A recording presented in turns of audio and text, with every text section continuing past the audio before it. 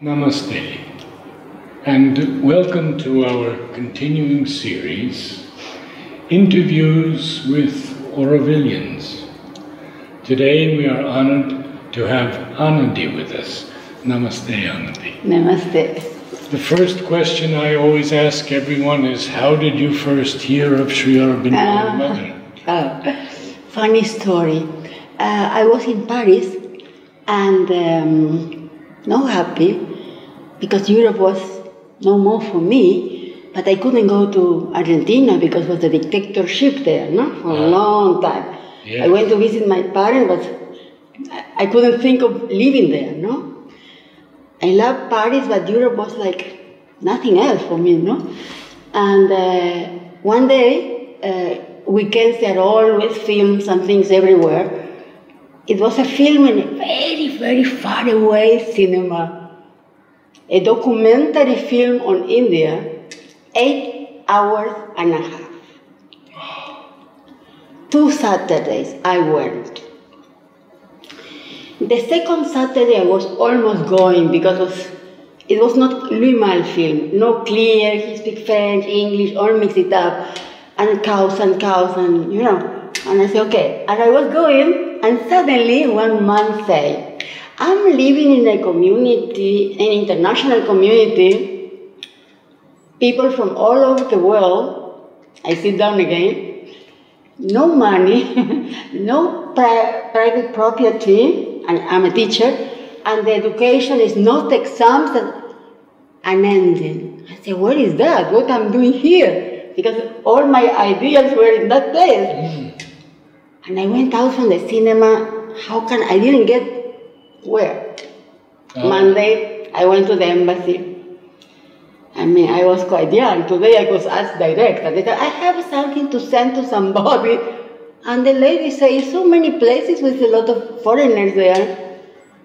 And I felt okay, lost it. And oh. suddenly the lady said, Auroville, and I said, ting. I said, yes. And she wrote the paper for me. Auroville, South India, India. You know, 75. I sent a letter like that, and one week later, I have an answer for Samsung there that in Paris it was a center in Rue de Rome. Magic, absolutely. And I start going every every week there till I got. I was working with uh, um, uh, the kids that they are not well physically, handicapped kids, but physically. And uh, I worked one more year to get the money, and uh, I came. I came to Pondi, no. I didn't know the difference of Pondi and Ah, Auroville. okay. And I found myself in 76 working in the Ashram school in Flowers Room, thinking that I was in Auroville. I didn't know. Ah, I didn't come from any spiritual thing. And somebody told me, no, you are in the ashram, you are not working in Auroville school. And I said, okay. And after I understood, mother was very clever because at the time, the French were burning the books, and if I had come there, I would run away in two days. And I was three years in the ashram.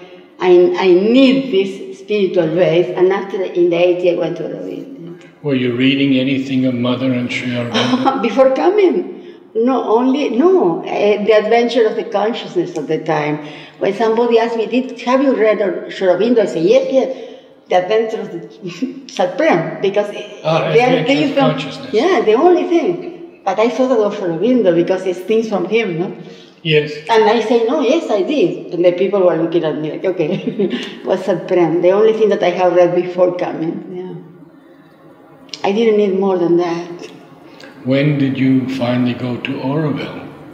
Uh, 1980, I went to Auroville. Night, oh, so from 70. Yeah, I was very sick. I had to go out from the amoebas, but very bad. huh? Ah, I was 46 kgs, three months on bed. No, they put me out. Mother, I tell you, everything is arranged in a way that I was. I know that it's not me deciding thing. And somebody took me to Paris. I was in the Institut Pasteur. you were in what? Institut Pasteur in Paris, because of the amoeba. Ah, And there, the experience was very, very powerful because the doctor told me, You don't have amoebas because I have the three monkeys on bed. I was doing Ayurvedic powder and I worked with the mind to kill the amoeba. And when I went to, to the Institute Pasteur, you know, there they, did, they do blood tests, is yes or no. And I didn't have. And the doctor was quite, uh, well, you have to go because you don't have amoebas. And I look at him, I, I went to the toilet and I have to the bed again.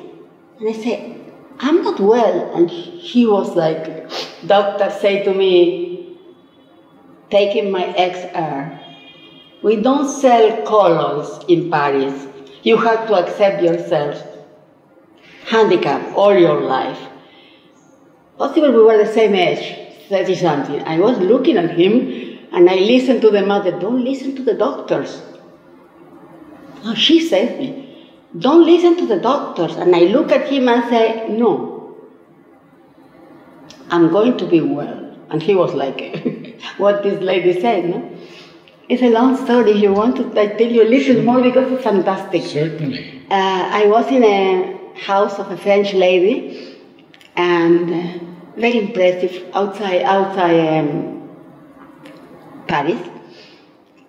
She was connected with Yvonne Artaud, and she has also a monkey. Ah, And when I came, the, the husband of her, who was a doctor, organized my stay in, in, in the Institute Pasteur. Was not an easy issue, no? And uh, I, I came back, and I was in the kitchen talking to her, and I saw that the monkey got free. And the house was full of Aurovilians, Orotaranti, the mother, coming the following day to Auroville. When I saw the monkey free, I said, keep inside the rooms, because the monkey free it was a danger, no? And the monkey came to me, direct, I put the hand here, she could kill me. And she left, and the, it was this uh, kitchen all white, and my blood was clean, and I almost Oh. fell down because I came from, from uh, two weeks in the, in the Institute Pasteur. But you know, at this moment, you think if you don't do something right, basta. Because the monkey, the only thing is to come to me. Everybody, nobody could help me. And I put a, a white thing and against the, the door. I was like that. I, I listened the monkey going, and it was really. I said, if you fell down, finish. He's going to eat you. And I was like that.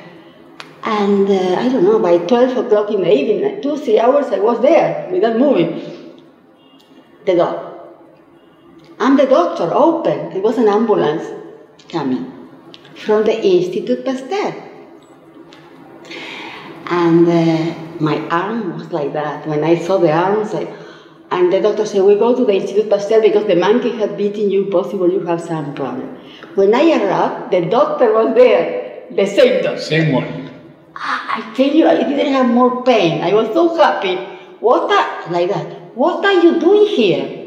And the doctor was so furious, put me like that. I brought her. What's the problem? I knew the problem. A monkey has beaten her. And the doctor was like, very nervous. said, She comes from amoebas, and now a, a, a monkey in Paris. I can't believe it. And I was laughing in, inside although the pain for me was like a revenge because he put me out like no, and um, it was very funny. The other, the doctor didn't understand anything, but I was very happy. And um, when they took me the the blood, the monkey has passed me as pasteurellosis. The cats could do that also. Uh, it's a, it's a, a thing that can give you rheumatism after, no? what the- about tetanus? Huh? Tetanus shot. It's, it's called pasteurellosis. Only monkeys and, and cats could do that. And uh, they say you have to have 12 uh, vaccines. I say, I'm not going to do that. And uh, I said, okay, I come tomorrow. I never came back. And there was a friend of mine from the time of the ashram, very nice person from um, Ireland. He came to pick up me and brought me to England to a farm of a lady friend of him. Three months I get uh, cured because of that. And I say, why you did this to me? And he say, I mean, look, sharing today. You don't forget me. For, forget why? No, I said, because when we were in, in Pondi, we were sharing a house with Malika, a lot of different people, no? very nice house. I was very sick. And one weekend, everybody was sick. And you were going and coming from the ashram with the food for all of that. I didn't remember that. He said, the, least, the last thing that I could do is to come to pick up you that you need now. And after he disappeared, he was in a very inside work, uh, not the Sri Aurobindo line, but he was doing some inside work. He did everything organized for me and he disappeared. It was fantastic, you know? Charles, Charles. Yeah. No, my life is fantastic. I'm very happy that you, know. So have- when when did you go to Auroville permanently? 1980. 1980. 80, because I was in, in two years in, in London. You know, I was 46 kgs, no? I was like that. And uh, I was studying there. I have a um, burst to scholarship, no, in English? Scholarship. Um, because I was working with the refugees of Chile, and they gave me a, a, a scholarship for studying university English for teachers. And I was two years there, and mother has organized something else because uh, to get well, all the natural things are very expensive. And I got half day work in um, uh, how you say, health food shop. And I could take everything for my health for free. Look, and I, I got the, there I have learned all the things that after I was doing workshops, polarity therapy, Schussler salt, Bach flowers. With all of this, I cure myself. Not with the things that the doctor, allopathics. And there, I, I did a switch off to the health. Although the education is my very thing, when I went back to Argentina, I was doing education, but I was doing all these things, no? What mother said in, in uh, health and death and all that, and all the natural things. That was my way of working in Argentina back. you know. When did you go to Argentina? I went in 86. 96. Na- 86. 86. Yeah, because my parents were getting old, and I was only child, and my aunts were not kids, all, all um, migrants from Spain, and uh, I said, I have to come back. So you came to Auroville 1980. Till 86, I was there. Without Six moving. years in. Si- yeah, without moving. I was uh, two years in Matrimandir camp, building the Matrimandir. The best experience in my life. If I had What to did you do for the Matrimandir construction? physical work, Concrete? yeah, no, everything. Everything. I was half day in the school and half day in the Matrimandir always. Yeah, yeah, we were. I mean, a worker, no? How you say? Yeah. What did you do in the school? in the school, well, I have done a book with the kids, no? I always work in creative expression, no? Here in the ashram and in Auroville also, and everywhere. And um, uh, I always put together all the arts, no? Movement, music, poetry, like one, only one thing and we, we were doing expressing in the different creative things. And uh, in Auroville it was a time much more simple that some money came for publication. And they were oh we have 500 rupees and we don't know what to do with that. We have to publish something. And I asked the kids do you want to, to make a book? They said yes and we organized uh, all the work in the book. I have to do it again because I always, when I have money, I do. But it's, it's the first book that we did with the kids, and it's fantastic. I send you a PDF, no? It's fantastic. Yeah, it's fantastic, and uh, it's a pity that, but it's so complicated now to get the money for for things, and I, I cannot come into that. Yeah, at the time was ah, yeah, good. now it's more complicated. So in 86 you went back to To Argentina. Argentina, yeah. And how long did you stay there? And there was a magic because I didn't have money. I have 75 maintenance a week. And I did something that the mother said to the teachers here. When you need an answer, You go to the bed in the evening with a question very clear, and you get the answer in the morning.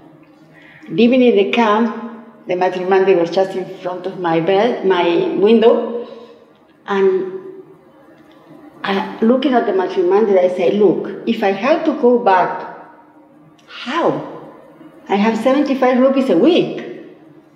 And I went to, to, to sleep and I forgot the whole thing. And I wake up in the morning, morning just rushing for going to work and the embassy, embassy, embassy. And I went and when I came back lunchtime, I say, you sit down, you concentrate what this embassy means to you. Mm-hmm. And I remember that, no, South Americans were quite, quite naughty, no? In rela- all the Americans, in relation with the Europeans, were quite naughty, no? Europeans more serious, no? And uh, I remember Argentine young boys saying, ah, you do your life. If you have to come back, you go to the embassy, and they send you back to your country. And I was so ashamed of that. I said, Mother, you are telling me this, that. And it was going on embassy, embassy, and I didn't want to write because I felt that's not good, no? And one day I, I wrote, I wrote to the embassy, and it was fantastic because I didn't know, mother knew, that because the democracy has come back, they gave money for the people outside to coming back to the Ah. country. Ah. It's not how I could come. You know the prices to our tickets, no? And um, it was fantastic, no? Because um, all the thing was miracle. Uh, because the embassies, I don't know yours, but mine, my experience, they were not nice people, are not nice people to, to help you, no? And uh, I sent a letter explaining that I had to come back because my parents and my aunt were getting old and I was a voluntary in Auroville, ta, ta, ta, ta, ta. And one day I forgotten. And one day somebody told me, because before you had the kitchen in, in opposite the Matrimandir, and the letters were in a box there, no? Somebody told me, you have a letter like that, go. Ah. And I went to take it from the embassy. I almost fell down when I read. And I was thinking of my mother that used to say the same thing that the mother's mother, saying to her, You are never going to be anyone because you are flying there. No? And I was listening to her because it was written. Um, if you want to come back, also full families, they pay, not the car, but everything, also the furniture, everything to come back. And I was not going to take my furniture, but I mean, uh, three, no, 3,000 rupees, $3,000 for, for house, $3,000 for start the business, and the full ticket, I tell you something, I was listening to my mother, you are never going to be anyone because you do what you want. And uh, I, I, at the end, it was like, this is for refugees, for, what is the other, there is two things for political things, refugees and uh, two, two, two different things. I was not any of that. And the, th- the third was genius. And I sent a letter to the secretary saying, look, I, I sent to you what you say, but I'm not coming into any of the three categories, no? You what? Any, I'm not a refugee, I'm not an asylum, and I'm not a genius. I mean, I, I'm not, my, myself, I'm not in any of the three categories. And they were asking for, for um, you know, when you ask for a job, no? Present paper where you have been working, ta ta ta ta ta. Said, Look, I don't have anything. Miracles. Miracles. I have my teacher certificate because a friend of mine from England, when I didn't come back, he put in a, in a ship two years and arrived one month before. My certificate of teacher, the only thing that I got. I said, look, I sent this to you, and Anne Marie, we didn't have any anything in Auroville official. Mm-hmm. Anne Marie read the paper. She is an Argentine people doing voluntary work here for this time to this time. Anne Marie. I sent to the embassy this little paper with anything and my certificate of teacher. And I say, look, I don't think that you could do anything for me because I'm not in, in the categories of your giving all this money. And I sent it again, I forgot.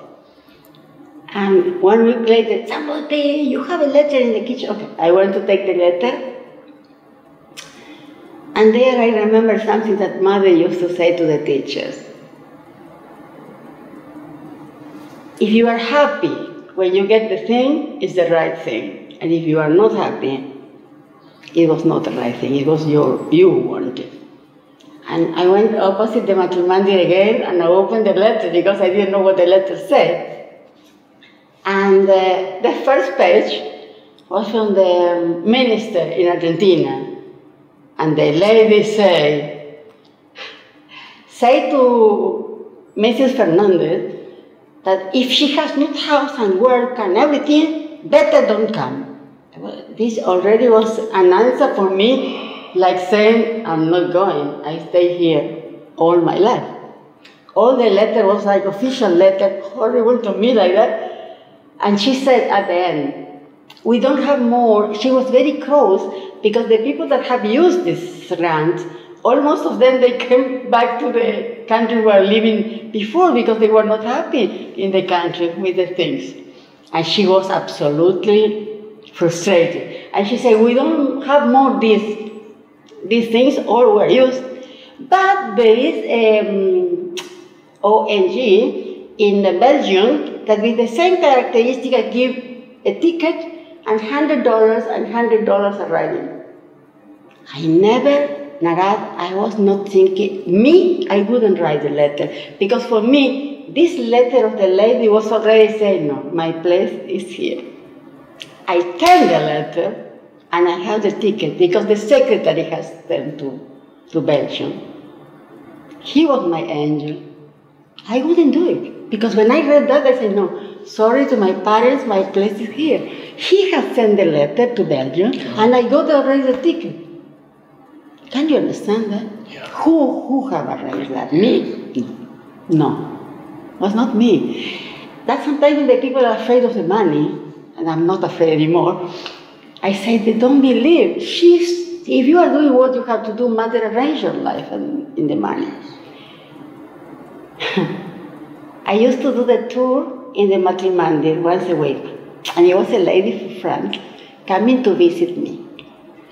And she always said, if you come back to your country one day, you have to spend in Paris the full day in my house. And I was looking at her I said, girl. If I go to my country one day, I go to the Russian or the, the Arab countries, the cheap ticket, no? You know what was my ticket? Air France, Delhi to Paris. Ah, Arriving, I couldn't do that. Mother could do. I arriving 5.30 in the morning to Paris. She was with the car there. ah, I passed the full day in her house with the kids and the family. 5.30 was my Argentine flight to Buenos Aires. How I cannot believe in her magic. How. I cannot believe on her magic. Ah. We have lost this magic. It's for this we have economical problem. We have lost that in it.